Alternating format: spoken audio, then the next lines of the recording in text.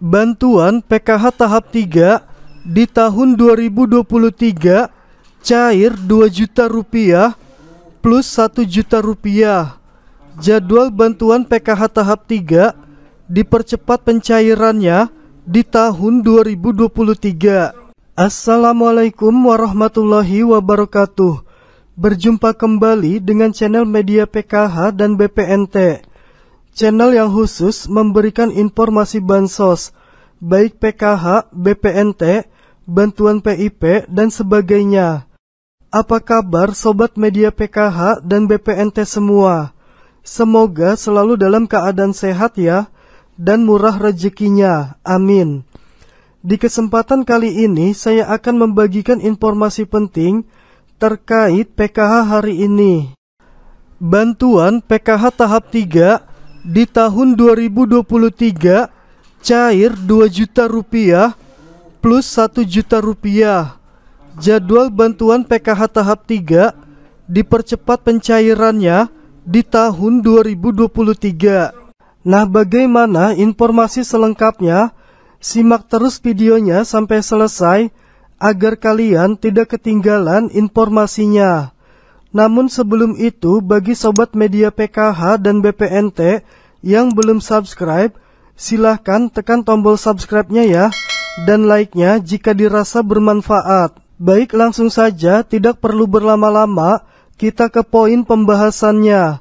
Ada informasi terbaru khusus bagi KPM PKH, pemilik kartu KKS merah putih, penerima lama dan penerima baru. Alhamdulillah ada kabar terbaru terkait jadwal pencairan bantuan PKH tahap yang ketiga yang sebentar lagi proses pencairannya akan segera disalurkan oleh pusat yaitu Kementerian Sosial Republik Indonesia.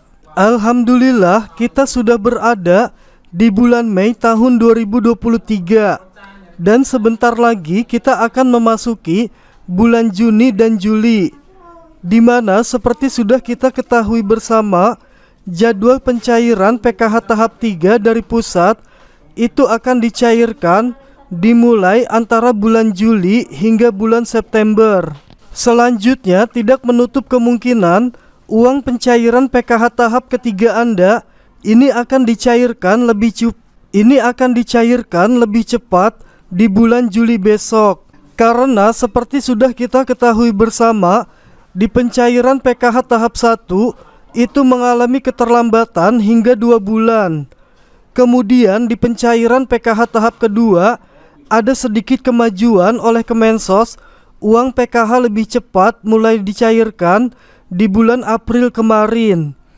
Nah kemudian tidak menutup kemungkinan di pencairan PKH tahap yang ketiga besok ini akan dicairkan di bulan Juli di bulan pertama pencairan PKH tahap yang ketiga. Bagi kalian KPM PKH yang sudah cair bantuannya di tahap yang ke-1 dan tahap kedua kemarin, ini siap-siap ya, akan ada saldo masuk lagi di pencairan bantuan PKH tahap yang ketiga secara tiba-tiba dan berbeda-beda nominal uang PKH yang akan didapat oleh setiap KPM di berbagai daerah di seluruh daerah di Indonesia. Kemudian akan ada KPM PKH maupun BPNT yang di pencairan PKH tahap ketiga besok cair uang bantuan PKH tahap ketiganya senilai 2 juta rupiah plus 1 juta rupiah di pencairan PKH tahap yang ketiga besok.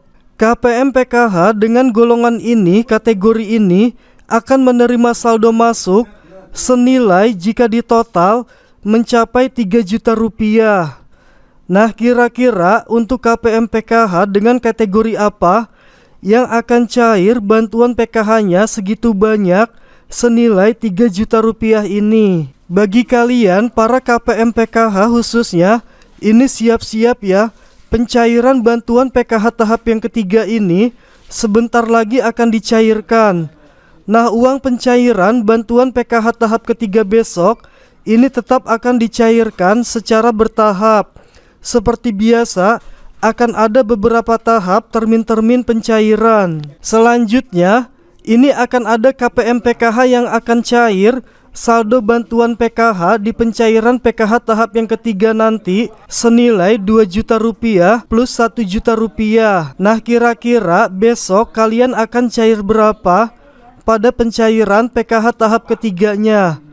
Saya doakan semoga kalian cairnya sesuai komponen di pencairan PKH tahap yang ketiga. Baik langsung saja kategori KPM PKH yang akan cair bantuan PKH-nya senilai 2 juta rupiah plus ditambah lagi 1 juta rupiah ini adalah khusus bagi KPM PKH yang di dalam keluarganya ini memiliki komponen satu anak usia dini umur 0 sampai 6 tahun dan satu kategori anak SD serta satu orang anak SMA sederajat dan KPM PKH tersebut juga memiliki satu komponen lanjut usia di dalam keluarganya. Nah, kita sudah ketahui bersama untuk komponen anak usia dini ini akan menerima uang bantuan PKH-nya senilai Rp750.000 per anak. Maka jika kalian KPM PKH memiliki satu anak usia dini, ini akan cair uang bantuan PKH tahap ketiganya nanti senilai Rp750.000. Dan KPM PKH ini juga memiliki anak usia SD sederajat. Maka KPM tersebut akan mendapatkan lagi uang bantuan PKH senilai Rp225.000. Kemudian KPM PKH tersebut juga memiliki anak usia SMA sederajat. Maka KPM tersebut akan mendapatkan lagi uang bantuan PKH senilai Rp500.000 dan KPM PKH ini juga memiliki satu orang lanjut usia di dalam keluarganya. Juga akan cair uang bantuan PKH tahap ketiganya senilai Rp600.000 maka jika ditotal jika KPM PKH memiliki satu anak usia dini dan satu anak SD sederajat serta satu anak SMA sederajat dan satu kategori lansia, ini siap-siap akan cair uang bantuan PKH tahap ketiganya. Totalnya senilai Rp2.075.000 yang dalam waktu dekat akan segera dicairkan kembali yang diprediksi pencairan PKH tahap 3 tahun 2023 ini akan dicairkan di bulan Juli, Agustus, hingga September tahun 2023 mendatang. Kemudian KPM PKH BPNT tersebut ternyata memiliki satu anak sekolah yang duduk di bangku SMA sederajat dan ternyata masuk di dalam SK pemberian nominasi dana PIP tahun 2023 yang memiliki buku rekening simpanan pelajar untuk bantuan PIP SMA. Seperti sudah kita ketahui bersama untuk bantuan PIP ini biasanya ada pencairan dana PIP di bulan Juli hingga Agustus. Untuk bantuan PIP tahun 2023 karena memiliki satu anak sekolah di tingkat SMA sederajat maka KPM tersebut juga akan cair uang bantuan PIP-nya senilai 1 juta rupiah. Sehingga jika ditotal uang PKH-nya cair senilai 2 juta rupiah ditambah uang bantuan PIP senilai 1 juta rupiah. Nah itulah kategori KPM PKH dan BPNT yang akan cair melimpah uang PKH tahap ketiganya di tahun 2023. Saya doakan semoga bantuan PKH tahap ketiga maupun tahap kedua Anda dan bantuan PIP kalian ini dapat lancar cair dan tidak ada masalah apa pun. Amin. Nah demikianlah informasi di kesempatan kali ini. Mudah-mudahan informasi ini dapat bermanfaat bagi kita semua. Wassalamualaikum warahmatullahi wabarakatuh.